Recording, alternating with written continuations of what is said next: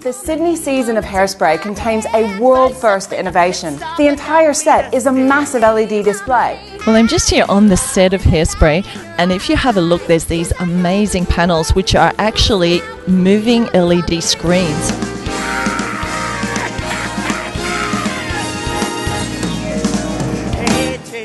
Baby, look at me. I'm the cutest chickie that you ever did see.